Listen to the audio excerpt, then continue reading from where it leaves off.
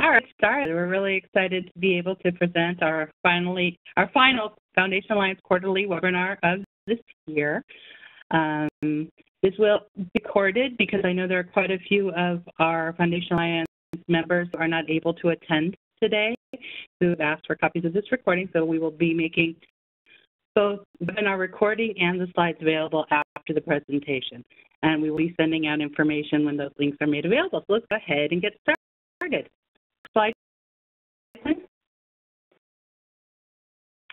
To share with you guys, today I'm going to go over today's agenda. Wanted to share some statistics and some great learnings that we had from our recent Patient Advocacy Summit that we had in September, and also share some changes and some exciting news about our 2017 event to get you guys ready to save the date for that. Uh, there's some upcoming toolkits and webinars that we have in production and in planning and where you guys can contribute. We'll share a little bit about our 2017 Foundation Alliance strategy. We have quite a few changes for our group and they're very exciting and we look forward to sharing that with you and getting your feedback. And then we will close it off with any questions that you may have. So go ahead to the next slide. Our patient engagement team, we recently changed our name from advocacy to patient engagement, which more reflects the work we get to do, which is working with rare disease patients, patient advocacy groups, and their leaders. So I want to reintroduce my team. As everybody knows, I'm Carrie Ostrea.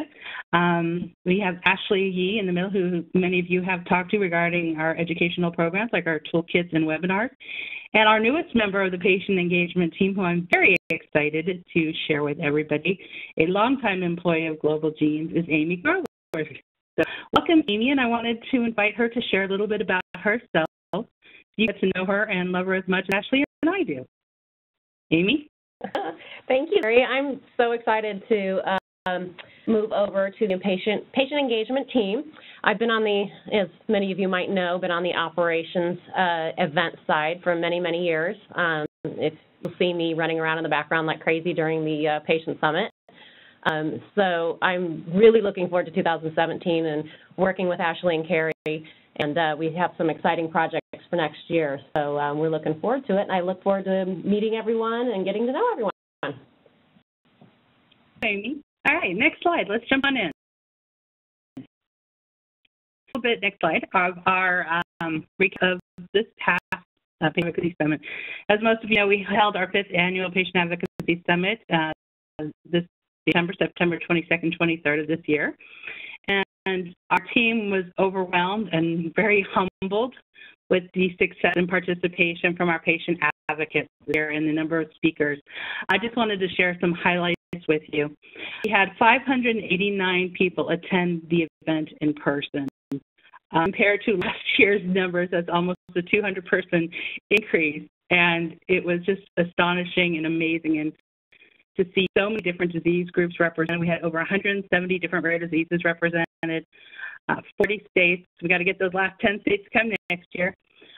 Um, feedback what we got from you, from those who attended both on live stream and in person, regular speaker sessions, was really positive. I wanted to say a special thank you for those of you who participated in sharing your ideas for some of the summit sessions for this past year that we were able to incorporate and really give a really robust and rounded track conference for those two days.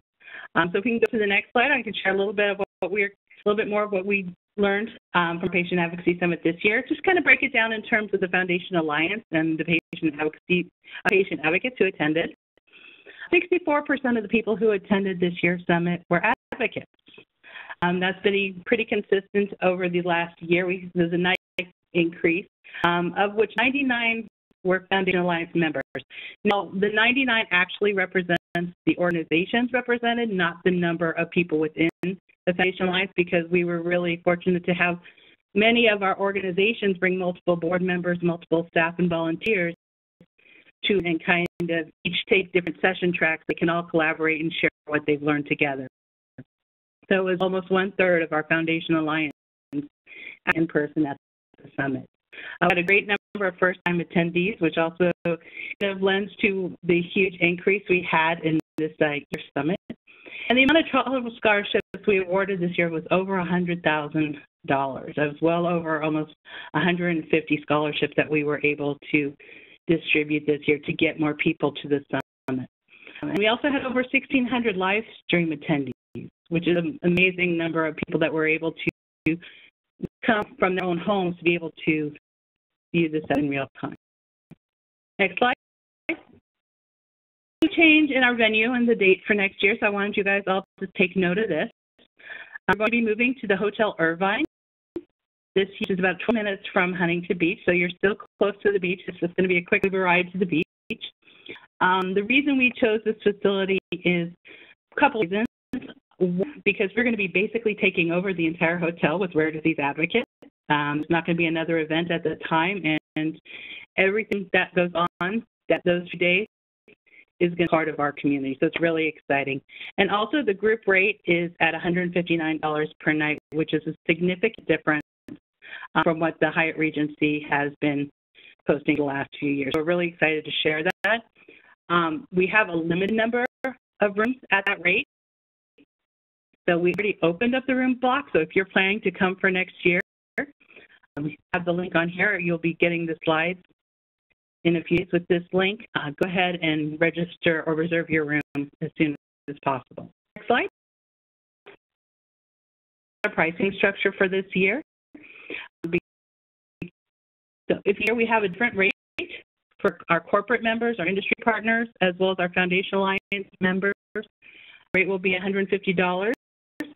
Uh, bird pricing. We are actually going to be opening our registration on March 1st this year. And excited to get this going. Our events team has been putting together an incredible plan for us for this year, so we're able to open up registration early. Um, who are not part of a Foundation Alliance are slightly higher. And you can see the different pricing structures for the different levels depending on whether you're an industry, academic, or an advocate. Next slide. Exciting things for this group here for the summit. We are actually going to be putting together a dedicated Foundation Alliance member networking event. We don't know what that's going to look like yet. It's going to be an opportunity for those of us who are in the Foundation Alliance each other to talk and really connect also opening up our exhibitor um, because we have a wonderful exhibiting space at the Hotel Irvine for Alliance members. So if you want to share your nonprofit with all attendees, which will probably be well over 500, 600 attendees, industry, academia, etc., um, you can get a booth and share your organization with your guests. There will only be a limited number of Foundation Alliance booths available um, you can email events at globalgenes.org for information on that, and Alex, who is hanging up this event, will be able to help you. One of the things that we are looking forward to is putting together a networking scheduling for the phones, and some of you have seen them at other conferences. Able to find someone online or through your phone, and if you want to schedule a meeting with them, you send them a message, and we're working on putting together some kind of opportunity for that. So we're really excited about trying to bring that to you guys as well. Also, we will be having complimentary to and from the airport uh, to the hotel. So excited about all these changes. It's really going to be much more patient focused and a lot more opportunities for the Foundation Alliance for this coming year. Next slide.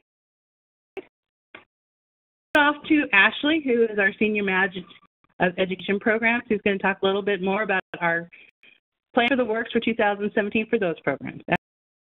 Ashley?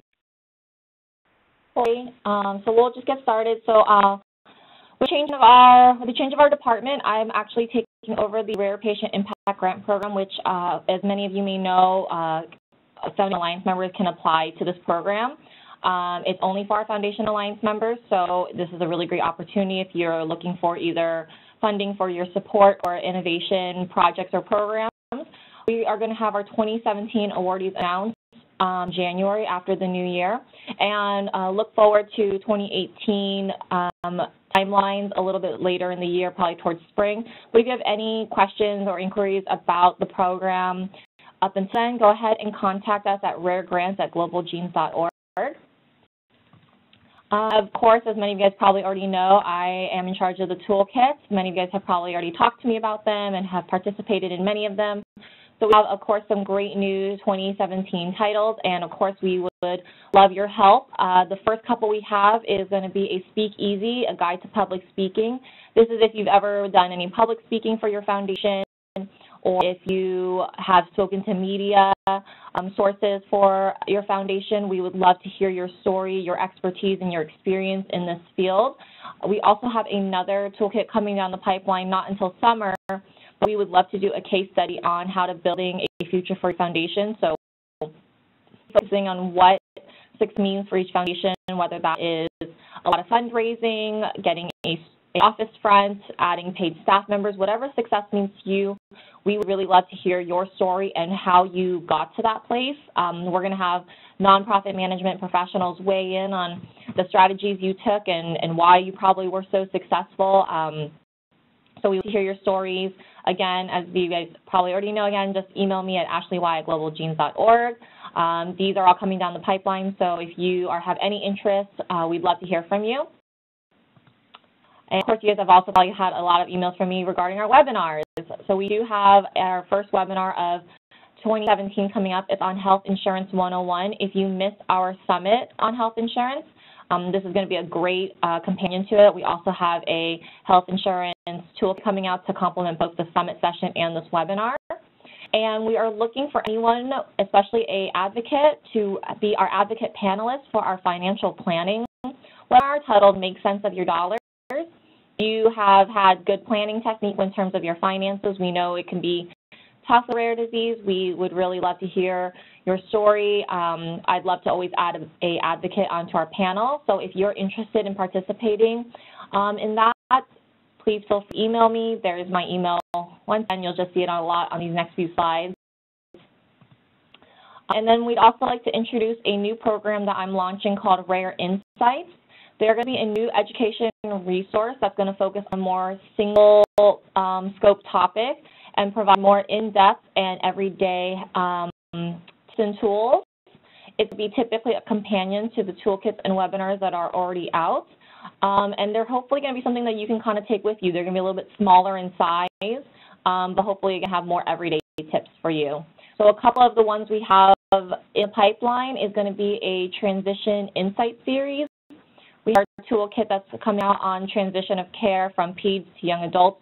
This is going to take a deeper dive into some of those more specific details, such as medical care, housing, um, going to college. We're going to kind of break those steps down a little bit more for you. A complementing financial planning piece to the webinar that we'll have. We're going to be working, bringing in the world of um, dietitians and nutritionists to help us with a nutrition insight and also we're going to have a small piece on who's who in healthcare, an easy everyday resource for you all to know who are healthcare professionals or healthcare adjacents that you can always um, look out for just so you have that knowledge. Um, we are looking for experts, quotes, testimonies for these insights. So if you have any interest in any of these topics, again, please feel free to email me. And Oh, this one is in here. And then lastly, as um, some of you may know, we do offer Foundation Alliance webinar tech support to our um, Foundation Alliance members. This, um, the new bill is something Carrie will discuss a little in a little bit. But just as a reminder, we do offer technical and use of our webinar platform called WebEx. They're meant for Foundation Alliances to conduct their own educational or support-based webinar the service is one time per every 12-month period currently, and we do all the work for you. We'll set the registration site, provide polls, reports, recordings, anything of the sorts. They'll all be given to the foundations for their own use.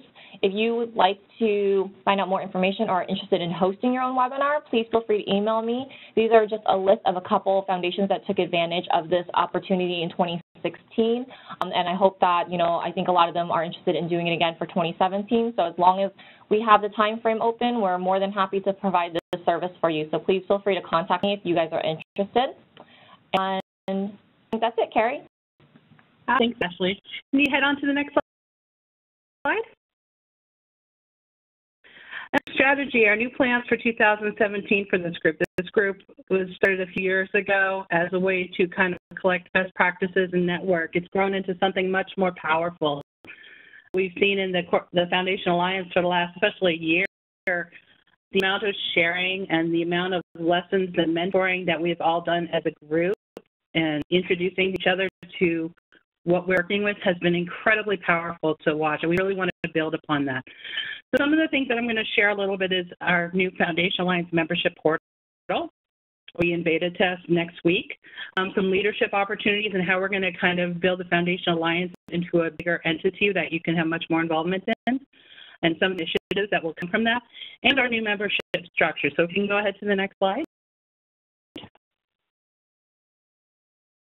We have gotten many times, especially over this past year, is the ability to share information, whether it's sharing events, membership director where you can actually email the contact, uh, discussion forum outside of Facebook because we've learned that very few of our Foundation Alliance members are actually on Facebook, uh, a place to share resources and things like that. So we've been really testing out a, a number of great platforms and found one that we're going to put beta test, and I'd actually want to go through this uh, we're actually going to be looking for some beta testers. So if this is something that you're interested in helping us out with over the next two weeks, um, you will be able to email me and we'll get you set up. So if you can go ahead to the next slide.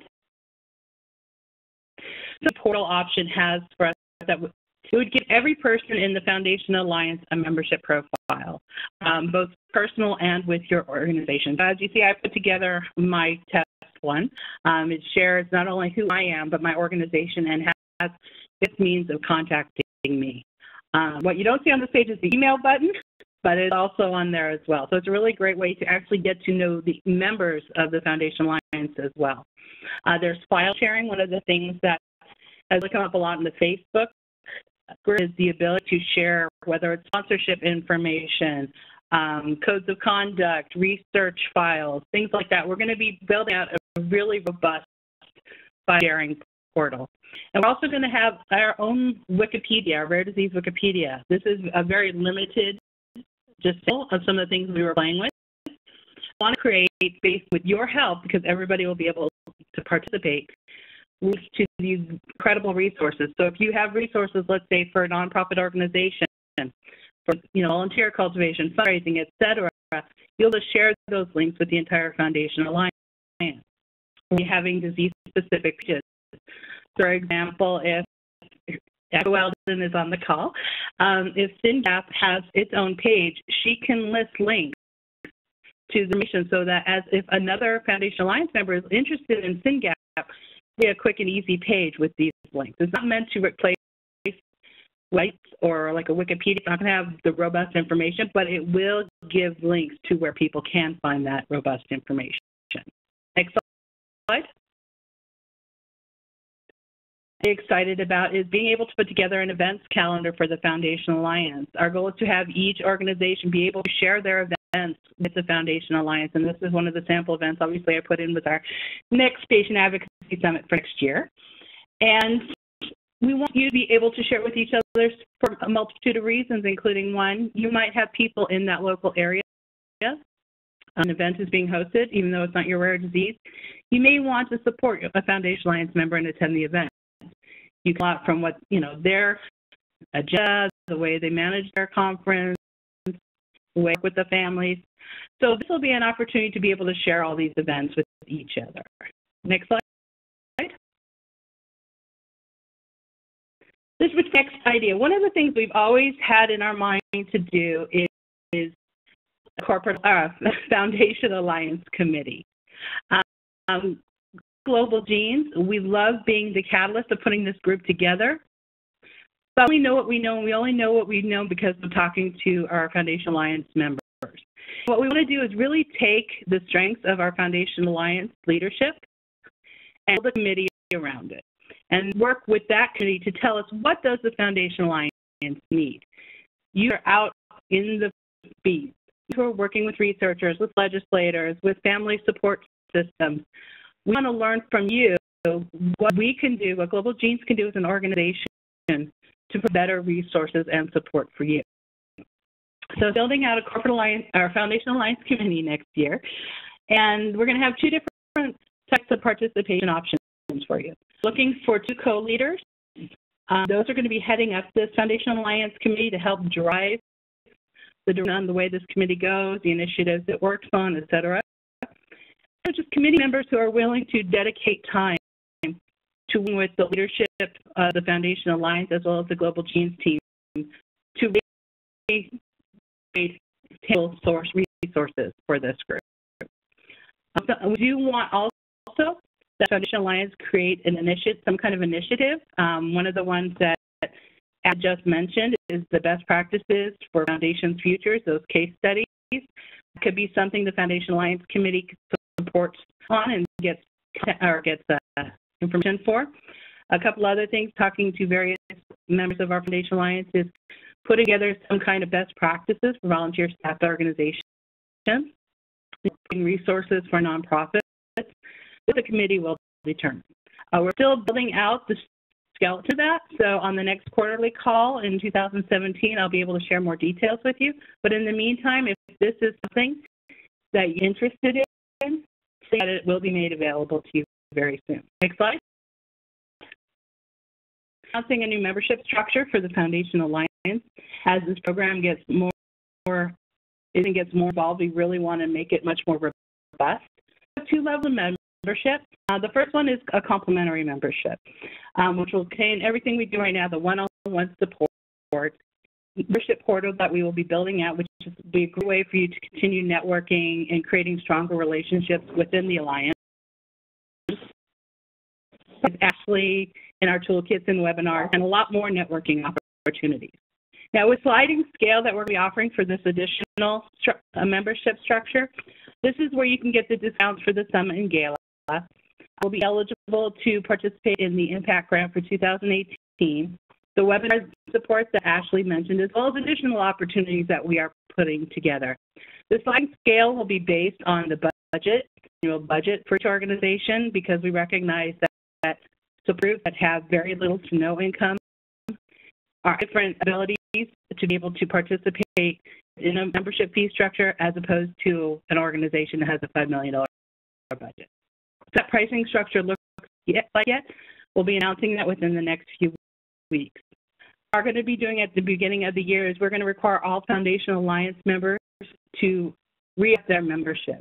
And the reason we want to do that is because we really want to know who's going to be active in this Foundation Alliance. We have over 350 organizations on our list. We really want to know who are the organizations we can get really close with. I mean, there are over 100 of you that I know of. Most of on this call right now, I recognize many of the names. Been able to develop such a great relationship and sharing with. Really want to build on that even more.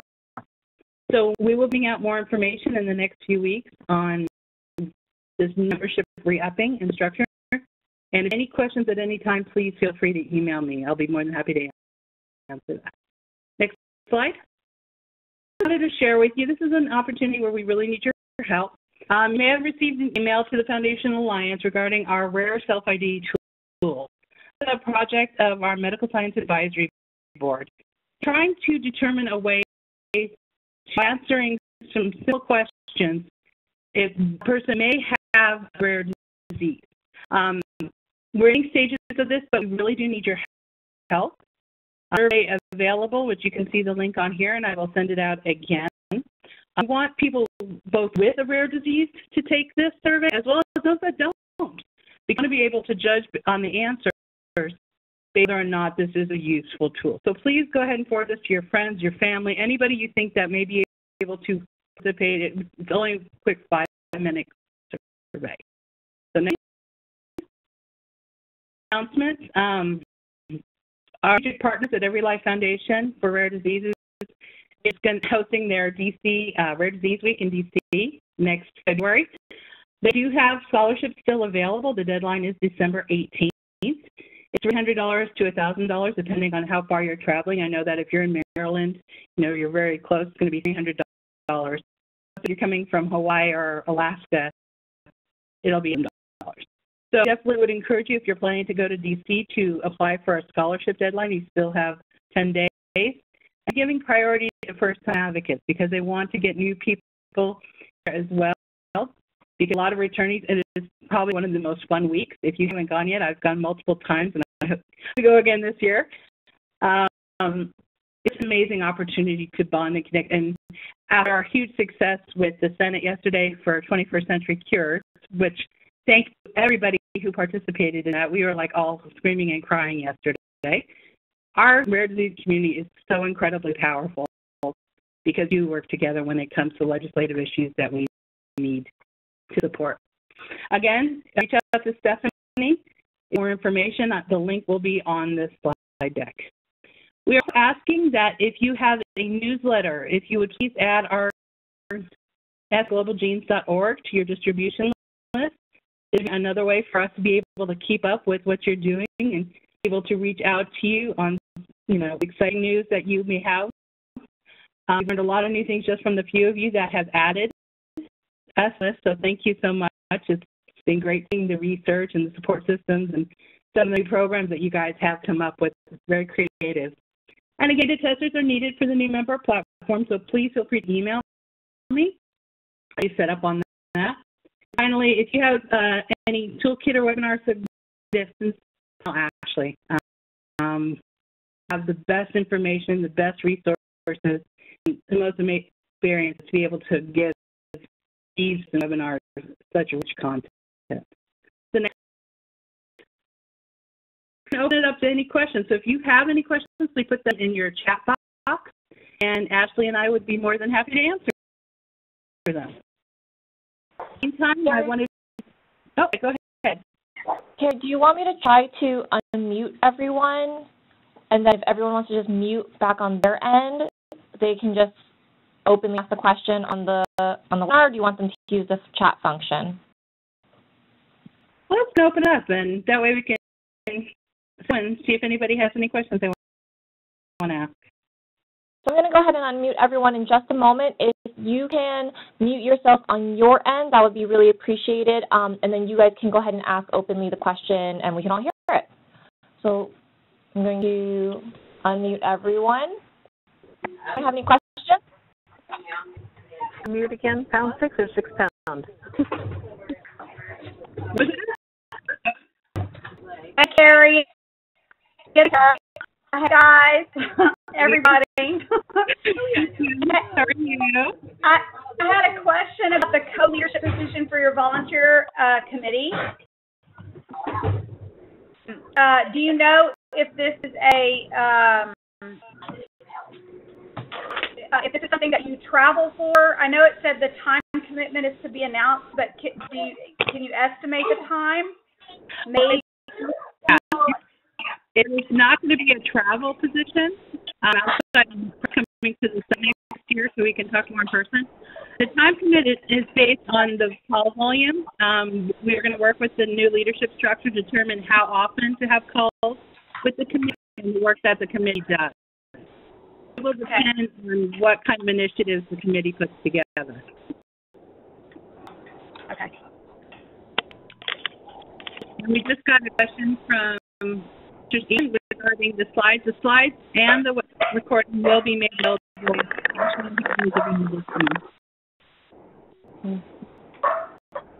Anybody have any questions?